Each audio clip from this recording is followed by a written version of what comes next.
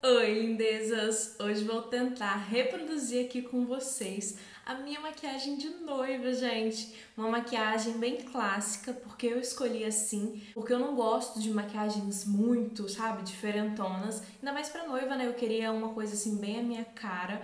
É, então eu escolhi essa maquiagem bem clássica. E quem me produziu foi a Larissa Carletti que a minha professora no meu curso de maquiagem, que sim, gente, eu ainda não terminei, faltar uma aula, por causa da correria da vida, eu não consegui ainda é, finalizar, mas esse ano finalizo, em nome de Jesus. E como ela é a minha professora, eu sei de muitas técnicas, né, que ela fez em mim, porque ela me ensinou essas técnicas. Então vou, vou dar algumas dicas aqui para vocês e vou tentar reproduzir, né, chegar o mais perto possível da maquiagem que ela fez em mim para o meu grande dia. Vou tentar me maquiar hoje sem prender o cabelo para mim não ficar tão estranha nesse vídeo. Minha pele já tá limpa, agora eu vou tonificar a minha pele. Vou usar esse tônico hidratante da Daisy Peroso. E agora esperar absorver. Aí você pode usar um leque ou um ventiladorzinho, né, para ajudar na absorção. Agora eu vou vir com esse hidratante da Nivea, que tem até muito tempo que eu não uso ele, mas eu sei que a Larissa usa bastante. E eu não sei se ela usou esse em mim, não, porque a gente fica de olho fechado, né, gente? Mas certos produtos eu identificava pelo cheiro, acredita? pelo cheiro eu consegui identificar qual era o produto. Mas esse hidratante aqui, muitos maquiadores usam, tá? Como minha pele, ela tem ficado muito ressecada aqui na região da olheira e na testa, e eu falei isso com a Mari, ela veio com olhinho, eu vou usar esse daqui, na região da olheira e um pouquinho aqui na testa, porque se não hidratar bastante essa minha região, craquela. E uma dica, gente, é você sempre puxar a hidratação para pálpebra também e aqui pro cantinho, porque a gente sempre esfuma muito essa área, então tem muito atrito. Então é muito importante hidratar essa região. Agora primer, esse aqui que eu sempre mostro aqui no canal, vocês já devem estar cansados de ver, mas ele é maravilhoso, gente. Ele é incrível, sensacional, super desfaça os poros. E eu acho que a Lari usou esse em mim também, porque vários produtos que eu uso de maquiagem foi indicação dela, né, que eu comprei. Então, por isso que algumas coisas eu tenho igual. Aí eu gosto de passar na região do nariz, já passei. E aqui, ó, e trazendo até aqui embaixo, porque eu tenho muitos carocinhos na bochecha. Agora, de base, eu não sei exatamente o que ela usou. Como eu disse, eu não sei muitas coisas que ela usou, mas algumas coisas eu deduzi, né? Mais importante é o resultado final ficar parecido. É, eu vou usar a base da MAC, só que eu não sei exatamente qual base que ela usou em mim, porque o meu foi a técnica Airbrush, que é aquela maquiagem com aquele, aquela maquininha, tipo, que solta a maquiagem em vapor. Eu não sei explicar, gente. Que é tipo um vaporzinho, sabe? Airbrush, dá uma pesquisada aí que vocês vão entender o que eu tô falando. Aí eu vou misturar dois tons, eu vou pegar o NC15, vou colocar dois, mais um pouquinho, tipo três pumps e um pumpzinho da NC30. E vou dar duas gotinhas do diluidor da Ana Paula Marçal, porque ele torna a maquiagem à prova d'água. E make de noiva, né, gente, tem que ser a prova d'água, porque o chororô é garantido. Com a esponjinha úmida, vou aplicar a base em todo o rosto. Sempre lembrem de descer a base para o pescoço, para dar uma igualada. Agora com a base toda aplicada, nós vamos para o contorno cremoso, porque vai fazer o contorno durar muito, gente. Vou usar esse contorno aqui em stick com pincel Kabuki, que eu gosto, acho que fica fácil para esfumar. E eu senti que o contorno que a Lari fez em mim foi um contorninho mais reto, não descia muito pra boca.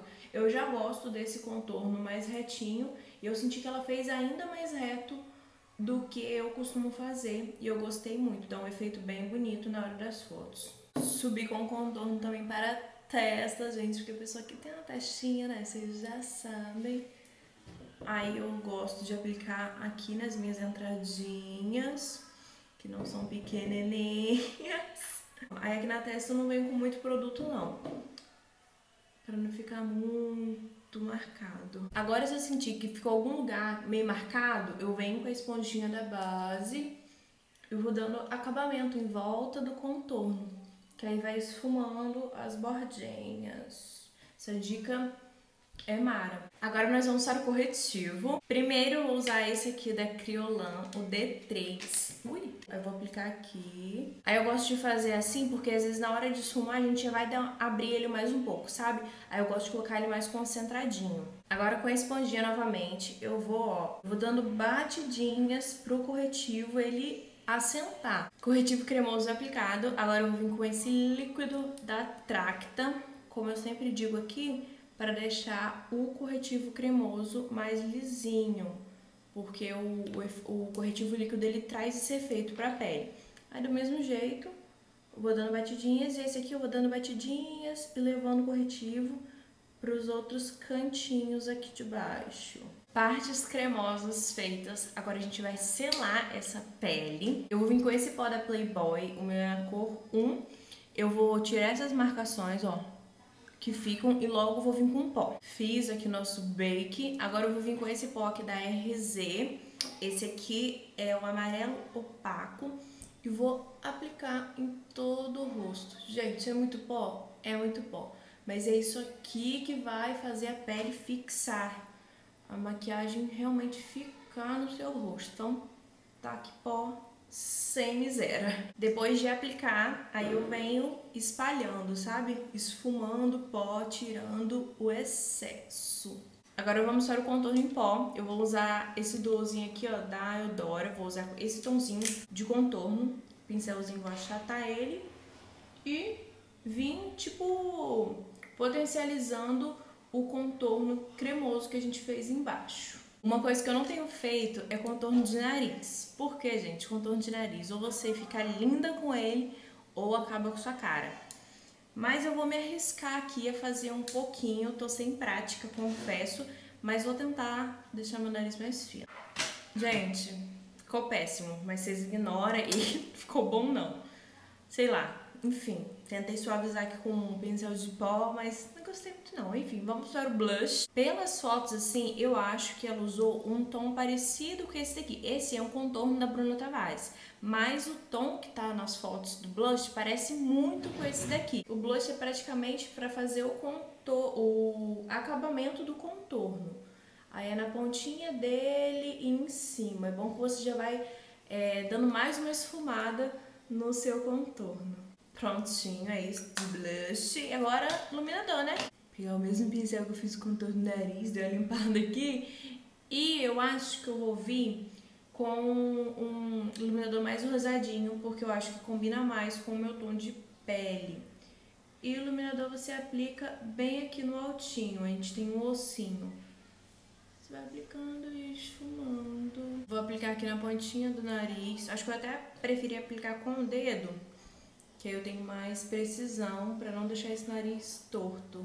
Ou mais torto, né? Porque eu acho que eu já fiz um contorno meio torto. Gente, queria me achar não, mas essa pele tá ficando mara. Quer dizer, ficou, né? Agora a gente só vai finalizar com o Fix. Vou vir com esse da MAC e aplica de longe, tá? Uns 30 ou mais centímetros de distância. Gente, depois que eu aplico o Fix, eu sinto que a pele, assim, fica outra cara, tipo, dá uma suavizada em tudo, une tudo, ai, fica maravilhoso. E assim que eu aplico, eu gosto de ter muito cuidado, não ficar fazendo expressão, fica paradinha, seca com leque, porque sua pele tá molhada de novo. Então, se você ficar fazendo muita coisa, ela vai acabar marcando. Já preenchi a minha sobrancelha, gente, porque eu disse pra vocês no último vídeo de make aqui no canal, vou deixar linkado se você ainda não viu, que foi uma aqui fala, é que minha sobrancelha está gigantesca, já vai fazer dois meses que eu não faço ela. Então tá assim, tá complicada. E eu já prometi pra vocês, eu vou cumprir. Muita gente me pede é, de um vídeo explicando como eu preencho a minha sobrancelha, tá? Então aguardem que teremos esse vídeo. E já passei um corretivo aqui na pálpebra, porque agora vamos para os olhos. E o que eu escolhi, gente, foi um marronzinho, como eu disse, bem clássico, com um cantinho bem iluminado. E pra isso eu vou usar essa paletinha da Juvia's e eu acho que eu vou usar só esses dois tons aqui. Pelo que eu vi, ela veio com marronzinho no cantinho, né? E aqui na parte iluminadinha ela veio com pigmento. E eu acho que ela colocou um fundinho branco. Vamos ver aqui ao longo da maquiagem se eu vou sentir necessidade de colocar um fundinho branco aqui no começo também. Seu lado tinha acabado a bateria e eu tava usando o fone pra ser meu microfone. Eu espero que o som não mude aí pra vocês. Enfim, vamos prosseguir. Vou pegar um pincelzinho aqui. Esse é o da New Face. Acho que eu vou começar por esse olho aqui pra vocês conseguirem ver. Tirei aqui as marcações. Agora eu vou vir com um pincelzinho nessa cor aqui, ó. Tô achando que eu só vou usar ela e aplicar aqui no cantinho. Vou concentrar bem aqui. Eu acho que essa cor tá muito similar à que ela usou em mim. Muito, muito, muito. Tô fazendo meio que a base primeiro para depois a gente esfumar as bordas. Mas eu senti que ela meio que fez um esfumado diagonal, mas não foi diagonal deu uma leve puxadinha. Agora eu vou vir com esse pincelzinho aqui, que é da Dye Makeup. E, sem produto, eu vou dar uma esfumada aqui nessas bordas. Ai, gente, acho que tá ficando igual! Olha como que tá. Eu acho que tá ficando igual. vou fazer aqui do outro olho a mesma coisa que eu fiz nesse. Agora, eu vou vir com um clarinho aqui no começo, que eu acho que vai fazer diferença. Vou pegar esse aqui, ó, que é quase um branquinho, da mesma paletinha e vou aplicar aqui no comecinho, ó. Deu uma leve diferencinha, ó, tá vendo? Ficou mais clarinho, que eu acho que quando a gente jogar o pigmento, vai dar um efeito maior. Agora, antes da gente ir pra parte do pigmento, vou molhar esse meu pincelzinho da Ico, molhar ele um pouquinho no Fix. Eu vou tirar um pouco do excesso. Eu vou vir aqui no cantinho da sombra e pegar. Aí vou aplicar aqui, ó, na parte de baixo dos olhos. Gente, esse acabamento embaixo do olho faz toda a diferença. Olha isso, fica muito, muito, muito mais lindo. Agora eu vou vir com o pigmento da Bitarra. Ele é branquinho com um fundinho amarelado. Vou vir com esse pincelzinho da New Face número 51. Vou pegar aqui e aplicar Ai, gente, eu amo! Olhem isso, que lindo! Gente, dá um efeito maravilhoso! Ah, e eu senti que ela deu essa subidinha aqui com o pigmento, sabe? Por isso que eu subi com ele também. Olhos finalizados. No dia eu usei cílios postiços, só que eu ainda não tenho segurança para colar cílios postiços em mim. No caso, eu preciso praticar, né, gente? Para mim me aperfeiçoar. Mas foi um cílios muito delicadinho, muito natural que a gente usou. Então apliquei uma máscara de cílios, eu acho que ficou bem parecido. Agora pro batom, eu vou fazer uma misturinha de dois batons.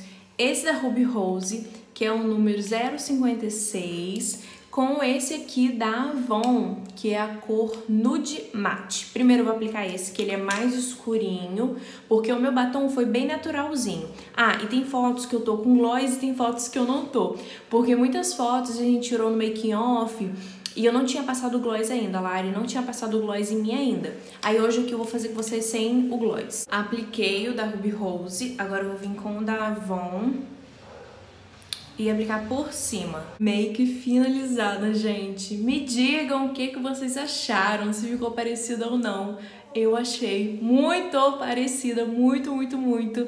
Me bateu uma nostalgia aqui agora, sério. Tô me sentindo muito noivinha. Só faltou meu vestido, meus acessórios. Ai, gente, que saudade. É um momento muito, muito especial. Então, me ver de novo como eu fiquei no dia, tá sendo muito, muito gostoso, sabe? Aí você me pergunta, Leila, por que você não se maquiou no dia do seu casamento? Porque eu acho, gente, que eu não iria conseguir. Eu sou uma pessoa que eu fico muito nervosa, é, então eu ia acabar perdendo a paciência, sabe? E não ia conseguir realizar do jeito que eu queria. Agora a maquiagem ficou linda, eu iria casar assim de boas, mas eu sei que no dia eu ficaria muito nervosa e ia começar a dar tudo errado, então eu preferi é, me entregar nas mãos de uma pessoa que eu confiasse muito. E foi maravilhoso, mas quis vir aqui reproduzir a maquiagem com vocês e foi muito bom, gente. Eu amei, tô aqui gravando, já tem quase duas horas. Mas ficou lindo, eu amei, achei que ficou muito parecida. É isso, gente, espero muito que vocês tenham gostado. Se você é novo, caiu nesse vídeo de paraquedas, se inscreva aqui no canal. Se você ainda não clicou em gostei, clique em gostei, é muito importante. E não deixe de comentar aqui o que você achou. Eu amei, gente, amei, amei. Eu achei que ficaria parecida, mas ficou mais parecida do que eu imaginei. Ficou linda. Ai, gente, saudades, saudades. Inclusive, se você não me segue no Instagram, vai pra lá, que eu tô sempre postando fotos de noivinha, de mim, do Ludson. E vira e mexe, eu dou uns relatos lá nas legendas de como me senti, de como foi pra mim. Tá sendo bem legal. Muita gente tá, tá curtindo e se identificando. É isso, gente. Até o próximo vídeo. Beijão.